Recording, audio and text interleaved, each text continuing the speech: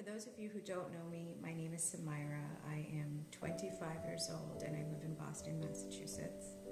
Um, in the summer of 2014, I was diagnosed with a rare autoimmune condition called neuromyelitis optica.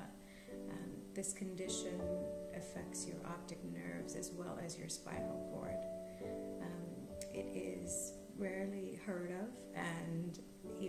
I didn't know what it was when they diagnosed me.